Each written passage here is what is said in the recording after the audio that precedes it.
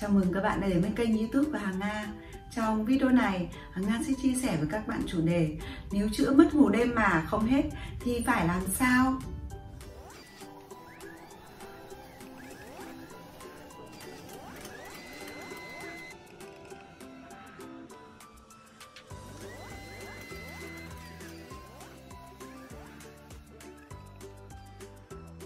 Giấc ngủ đêm đó là một món quà siêu phàm và món quà vô cùng quý giá từ mẹ thiên nhiên ban tặng cho chúng ta.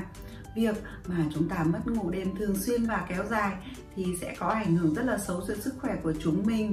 Ngoài ra, nó cũng sẽ có những tác động rất là xấu đến cái chất lượng cuộc sống của chúng ta, đúng không ạ? Và theo như các chuyên gia về giấc ngủ cho thấy rằng nếu một người đàn ông mà một ngày chỉ ngủ từ khoảng 4 đến 5 tiếng thôi thì cái lượng hormone mà họ sản xuất ra thì chỉ tương đương với người mà già hơn họ 10 tuổi đấy và cũng tương tự như vậy đối với chị em chúng ta nếu như mà mình bị mất ngủ đêm thì cũng sẽ là ảnh hưởng rất là xấu đến sức khỏe sinh sản của nữ chúng ta đúng không ạ? Trong video này Hằng Nga sẽ chia sẻ với các bạn việc mất ngủ đêm, nguyên nhân, hậu quả và cách khắc phục khi mà bạn đã chữa mất ngủ đêm rồi nhưng mà vẫn còn bị mất mất ngủ đêm. Có rất nhiều nguyên nhân như là bạn cảm thấy rất khó để đi vào giấc ngủ hoặc là bạn đã ngủ rồi xong lại bị tỉnh giấc lại và mình rất khó để trở lại giấc ngủ của mình. Xong mình cứ trằn trọc trằn trọc suốt cả đêm nguyên nhân khiến cho bạn mất ngủ đêm thì có rất là nhiều nguyên nhân. Thứ nhất, có thể là do bạn bị gặp các vấn đề về căng thẳng, áp lực sẽ khiến cho bạn suy nghĩ và làm bạn bị mất ngủ. Thứ hai là do các vấn đề về bệnh lý, như là bạn bị các cái vấn đề bệnh về trầm cảm hoặc các cái bệnh về thần kinh thì cũng khiến cho bạn bị mất ngủ thứ ba. Có thể là do mình bị là uống thuốc ấy, mình sử dụng thuốc thì trong quá trình đó là có cái tác dụng phụ của thuốc, nó cũng sẽ khiến cho bạn bị mất ngủ. Thứ tư là do bạn dùng các cái chất kích thích như mình uống rượu, bia, cà phê thì trước giờ đi ngủ thì cũng sẽ làm bạn khó ngủ hơn. Thứ năm là do thay đổi môi trường sống khi mà bạn di chuyển ví dụ như là à, khi mình hay đi du lịch ấy hoặc mình đi sang nhà khác nhà lạ đấy thì mình hay thường là mình hơi bị khó ngủ đúng không ạ? Thứ sáu đó là do nguyên nhân cái thói quen giờ giấc ngủ của bạn. Bạn ngủ không đúng một giờ làm cho cơ thể của mình nó không quen được cái giờ ngủ và làm cho bạn khiến mình cảm thấy rất là thì đóng một vai trò rất là quan trọng đối với sức khỏe của mỗi chúng ta nếu như mà bạn thường xuyên bị mất ngủ thì sẽ ảnh hưởng rất xấu cho sức khỏe của chúng mình. Nó sẽ gây ra những nguy cơ mắc các bệnh như là béo phì, các cái bệnh về trầm cảm hoặc các bệnh về tim mạch, huyết áp, tiểu đường. Đó, ngoài ra nó sẽ làm suy giảm hệ thống miễn dịch của chúng ta và làm giảm chất lượng công việc cũng như là chất lượng cuộc sống của chúng mình nếu như bạn bị mất ngủ vì nguyên nhân bệnh lý, ví dụ như là trầm cảm hoặc là các cái bệnh thần kinh, lúc đó bạn sẽ cần phải đi lấy ý kiến của các cái bác sĩ chuyên khoa đã khám cho bạn cái đơn thuốc đó để hỏi ý kiến.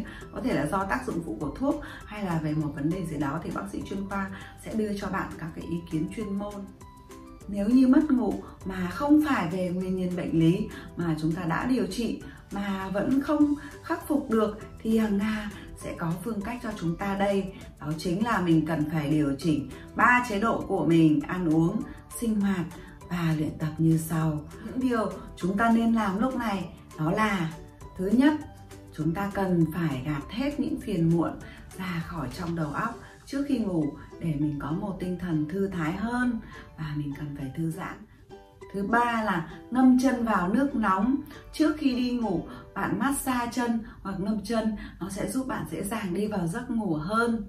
Thứ tư là bạn nên ăn những cái loại thức ăn mà nó chứa dầu magie ấy nó sẽ làm cho bạn dễ ngủ hơn. Có trong ví dụ như là chuối này, vừng này, hạt hướng dương này, hoặc là bạn ăn các cái loại như là hạt sen ấy, cũng giúp bạn dễ ngủ hơn. Hoặc uống các loại trà như trà tâm sen hoặc trà sâm sen, nó sẽ giúp bạn dễ dàng đi vào giấc ngủ. Thứ năm, đó là chúng ta cần phải luyện tập thể dục. Bạn cần phải lựa chọn cho mình một bộ môn thể thao hợp lý mà mình ưa thích hoặc có thể là chạy bộ bơi tập gym aerobic hoặc là tập yoga khi mà bạn luyện tập thể thao thì cơ thể bạn sẽ trao đổi chất tốt hơn và cái tuần hoàn máu trong cơ thể bạn cũng sẽ tốt hơn. Bạn sẽ đi vào giấc ngủ dễ hơn và đặc biệt là trong yoga thì có rất là nhiều bài tập. Nó giúp bạn là kiểm soát mọi căng thẳng và thư giãn đầu óc thì sẽ cho bạn một giấc ngủ rất là tuyệt vời. Và trên thực tế thì tất cả các cái học viên ở trên lớp mà nga dạy đấy thì các bạn ấy đều phản ánh lại là sau những cái bạn là đặc biệt nhìn nhạy dễ nhận thấy và khi những bạn mà bạn ấy tập đầu tiên ấy, bạn ấy mới bắt đầu tập thì bạn đều nói là khi mà tập về một cái là tối về ngủ rất là ngon nhé bạn. Thứ sáu, bạn cần phải thiết lập cho mình một chế độ sinh hoạt hợp lý, một cái giờ ngủ cố định. Ví dụ là giờ thích hợp nhất cho mình là khoảng từ trong vòng 11 giờ cho đến sáng ngày hôm sau, thì bạn ngủ vào một giờ cố định đấy thôi. Thì cái đồng hồ sinh học trong cơ thể bạn, nó sẽ quen với cái giờ giấc đó. Nó sẽ giúp bạn đi vào giấc ngủ dễ hơn. Tiếp theo, đó là những điều mà bạn không nên làm. Thứ nhất chúng ta cần phải tránh xa những loại đồ uống mà có caffeine sau 2 giờ chiều. Ví dụ như là trà này cà phê này ờ, uh, sô cô la đấy thì là những cái đồ đó nó sẽ làm bạn khó ngủ hơn đấy. Thứ hai là chúng ta cần phải tránh xa các cái loại chất kích thích như là rượu bia và thuốc lá vào gần giờ bạn đi ngủ nhé thứ ba đó là mình tránh dùng những cái thứ làm bạn sao nhãng và mất tập trung vào trước một tiếng khi giờ mình đi ngủ. Ví dụ như là tivi hoặc điện thoại. Thứ tư đó là mình hạn chế không nên xem những cái phim quá căng thẳng hoặc là quá kích thích thần kinh của mình. Và trong vòng khoảng một tiếng trước khi giờ mình đi ngủ, nó sẽ làm bạn rất khó ngủ đấy. Thứ năm đó là bạn không nên ăn quá nhiều trước khi đi ngủ. Việc bạn ăn quá nhiều trước khi đi ngủ thì sẽ khiến cho là máu phải dồn xuống dạ dày để giúp bạn tiêu hóa dạ dày. Và điều đó sẽ làm cho bạn rất là khó để đi vào trên đây là chia sẻ của hàng ngà về chủ đề nếu bị mất ngủ mà chữa không hết thì phải làm sao? Các bạn biết rồi nhá. Chúng ta nếu mà vì những nguyên nhân như bệnh lý là như là trầm cảm hoặc là các cái bệnh thần kinh thì các bạn sẽ cần phải đi gặp bác sĩ chuyên khoa để có ý kiến về mặt chuyên môn. Còn nếu không phải bạn bị mất ngủ về những nguyên nhân mà bệnh lý như trên, thì chúng ta cần phải điều chỉnh cho mình ba chế độ. Đó là chế độ sinh hoạt, chế độ dinh dưỡng và chế độ tập luyện bạn nhé.